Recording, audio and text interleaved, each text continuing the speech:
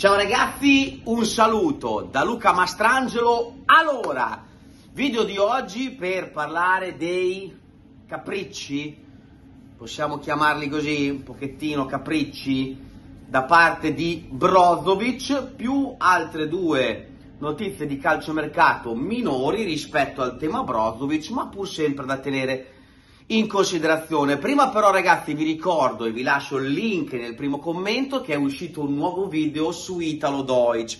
Per la prima volta il mio amico Giano ha mangiato l'anguilla. Un tedesco assaggia per la prima volta l'anguilla. Dove siamo andati a mangiare l'anguilla? Nella patria dell'anguilla, ovvero a Comacchio. Gli sarà piaciuta? Non gli sarà piaciuta?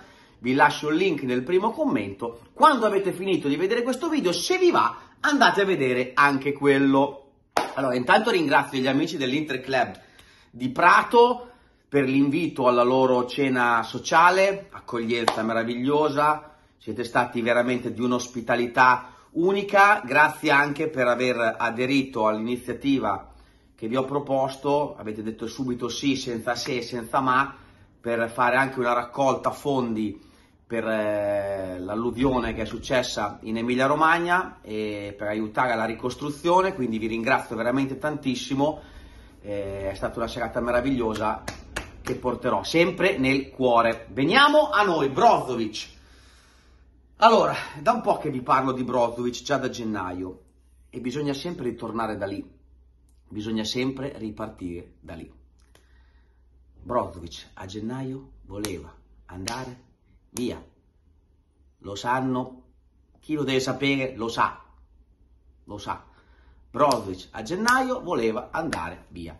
Aveva chiesto la cessione. A Riyadh c'era stato, dopo la Supercoppa italiana, anche screzio, forse una parola grossa, però insomma c'erano state delle incomprensioni con la società, perché la società voleva dal Barcellona che sì più soldi si fosse fatto uno scambio alla pari sarebbe andato tutto in porto. C'era il sì di che sì, c'era il sì di Brozovic che voleva andare a Barcellona, l'Inter oltre a che sì ha chiesto dei soldi, è saltato tutto, la cosa non si è fatta e Brozovic è rimasto un po' infastidito quella volta lì. Adesso cosa succede? Succede che l'Inter ha bisogno di monetizzare, lo sanno tutti, si è venuta trovare, si è venuto a creare questa opportunità dell'Al Nasr che sta andando un po' per le lunghe. Però dov'è l'incazzatura di Brozovic con la società? Dov'è che Brozovic è risentito? Ancora da prima di Riyadh. Perché? Perché Brozovic dice io potevo fare come altri, avevo un sacco di offerte, potevo lasciare andare il cartellino, il mio contratto in scadenza e me ne potevo andare a zero, dove mi pareva, guadagnando anche più di ingaggio, perché sapete che una volta che un giocatore va via a zero, tu non paghi il cartellino per convincerlo a venire da te, gli offri più soldi di ingaggio, no? Un po' come ha fatto l'Inter con Turan. Mi riesce difficile pensare che Turan valga subito 6 milioni e rotte di ingaggio, però non hai pagato il cartellino, si è innescata l'asta, se lo volevi comprare, lo dovevi comprare convincendolo con l'ingaggio. Brozovic poteva fare così. E Brozovic ti dice, io non ti ho lasciato a piedi senza soldi, che me ne sono andato senza farti guadagnare un euro dal cartellino, come ha fatto qualcun altro senza fare nomi. Ho rinnovato il contratto, poi quando è stato il momento che ti ho chiesto di andare via, non mi hai fatto andare via. Adesso che si è venuta a creare l'offerta, che tu hai bisogno di soldi, sei lì che non dico mi spingi ad andare via, però stai mettendo un attimo di fretta. E Brozovic fa un pochettino come i bambini col muso che ti dicono, va bene, andrò via, però vado via dove, come, quando lo dico io, visto che quando te l'ho chiesto io non mi hai mandato, vado via adesso. Dove, come, quando lo dico io. Quindi sta facendo un po' i capricci, sta facendo. Addirittura ieri so che dalle parti di, de, della sede dell'Inter c'era un po' di nervosismo perché addirittura Brozovic aveva chiesto una buona uscita per andare via. Non so quanto per far arrabbiare la società o non lo so, però comunque l'ha chiesta, l'ha chiesta, l'ha chiesta e vedremo adesso i discorsi con l'Al Nasr là sembrano un pochettino ripartiti, è una situazione che fa ridere, fa ridere, perché gente che va da un giocatore e gli offre un triennale da 30 milioni all'anno, poi stanno lì a, fa- a mercanteggiare come si fa quando, st- quando, devi comprare un braccialetto in spiaggia, no ti do 10, no costa, da, ti do 7, no dammi 9, no ti do 8, Cosa dobbiamo comprare? I braccialetti a Rimini dobbiamo, comprare. In spiaggia a Rimini.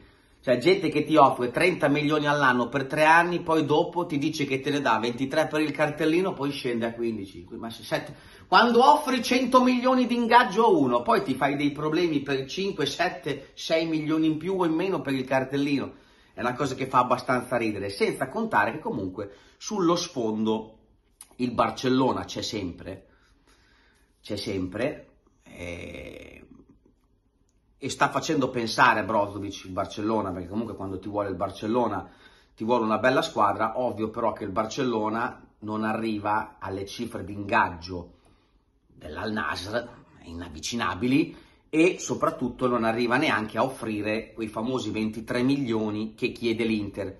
Quindi adesso c'è una situazione un pochettino di stallo, stallo che sta fermando un po' anche la questione Frattesi.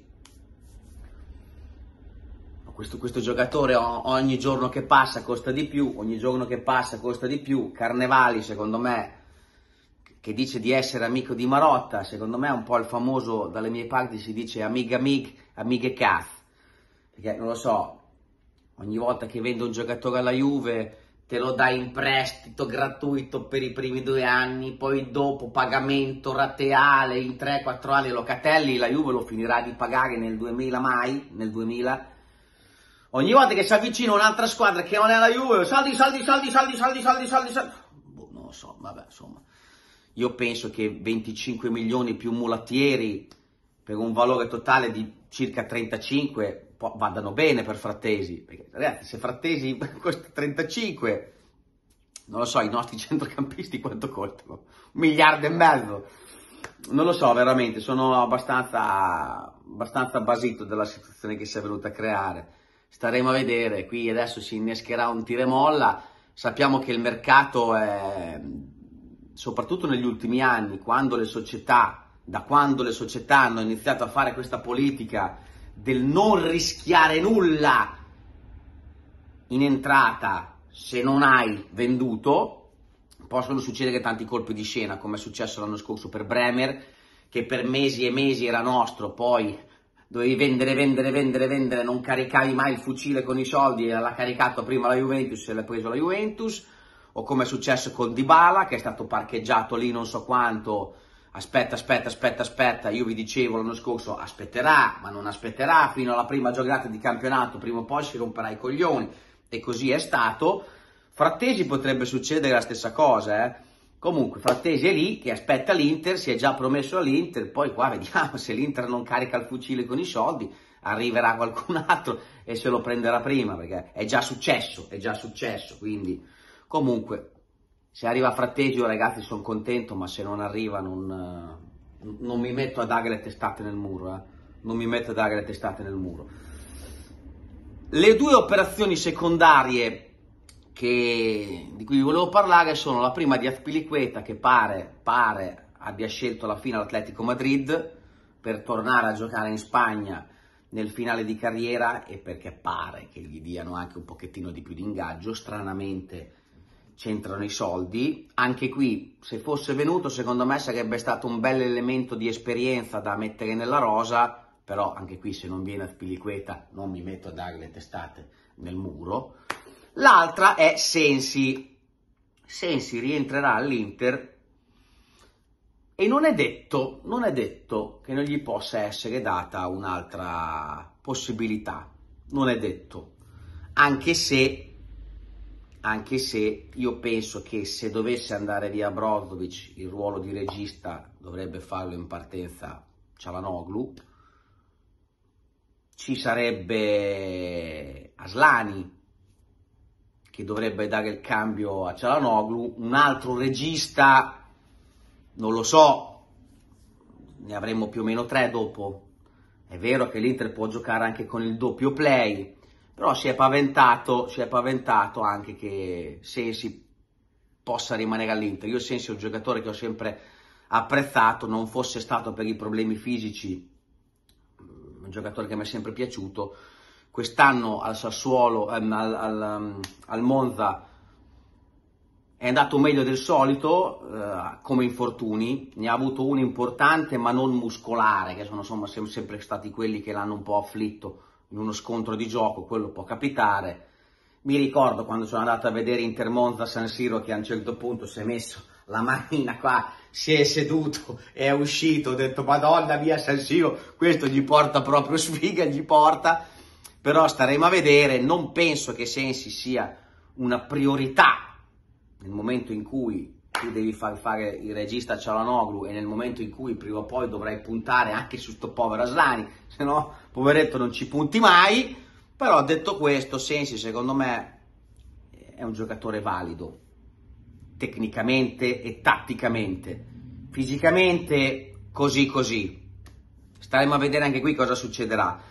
Però per quanto riguarda la questione Brozovic non sono sorpreso da tutte queste scaramucce perché per i motivi che vi ho detto all'inizio del video Brozovic è un po' risentito.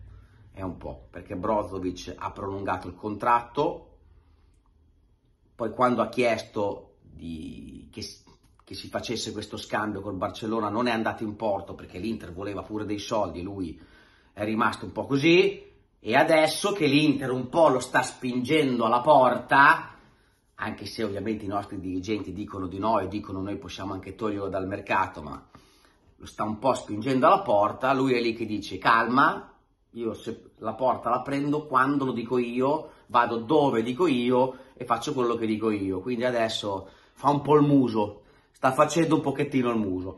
Vedremo cosa succederà. Iscrivetevi al canale YouTube, clic clic clic clic clic, seguitemi su Instagram, clic clic clic clic clic, like alla pagina Facebook, clic clic clic clic clic e poi come dico sempre fate quel cazzo che vi pare. Ciao!